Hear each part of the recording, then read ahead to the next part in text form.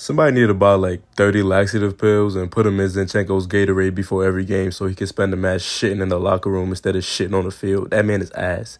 Every time Salah went one on one with him, I almost cried. Whose idea was this, bro? Put Kiwior out there or something. I don't know how he didn't get benched at halftime. He was out there taking bare back shots from Salah. Trent knows Zinchenko was mentally challenged too. That's why he kept tossing bombs down the field whenever he seen Salah one on one with him. Just slinging that shit. I swear to God, he's useless.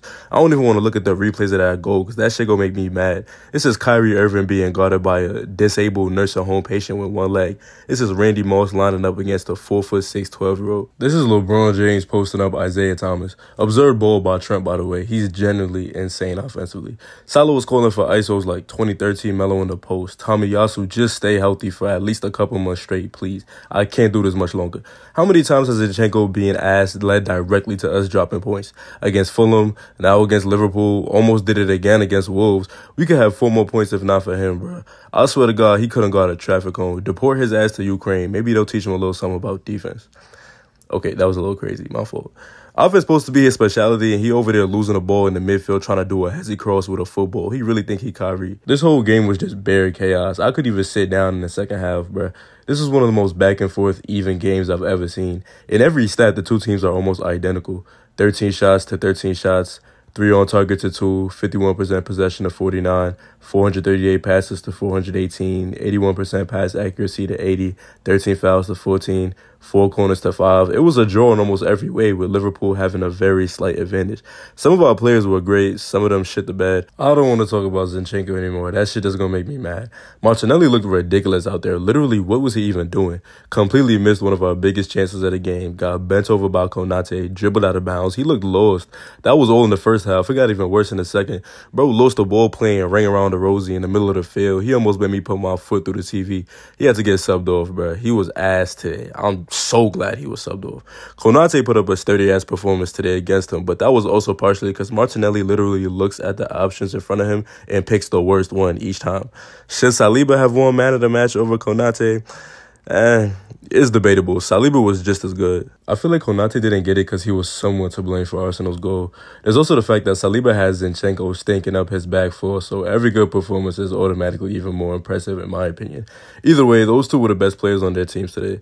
This game was stupidly fast paced. After the second half started, it was just back and forth and back and forth. I don't know how Liverpool didn't score because they kept taking the ball back in our half. As soon as we got it back, Endo would come flying in with a challenge. Then we cleared the threat and Zinchenko coughs up the ball or something. It's like they were actively trying to give me a heart attack.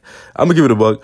I don't have as much faith in Raya as I had at Ramsdale back there when it comes to shot stopping alone, especially against a team like Liverpool. I was convinced something was eventually going to sneak past them. I don't know how the hell we weren't down 2 1 here. I really don't. They had Rice on our island. I really want to know what was going through his head at this moment. A 5 on 1, you're backpedaling, and Raya isn't exactly the most reliable guy around. He definitely ain't forget about Luton. Trent finna be thinking about that miss to May. I would say I feel bad for him, but I would be lying like shit. I was geeked when that ball came off the crossbar. Jesus was nowhere to be found. Konate and Van Dijk were really huge back there for Liverpool. The center backs were the superstars of this game for both teams. Jesus just isn't as effective in games like this. It's the unfortunate truth.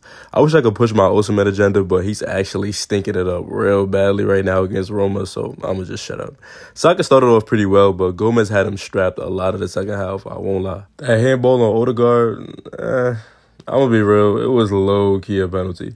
It's not an insane call because he did slip, but Come on. If that was against us, we would be complaining about it for the next month. Let's not lie.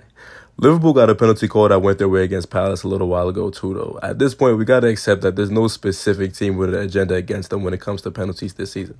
The refs are literally just schizophrenic.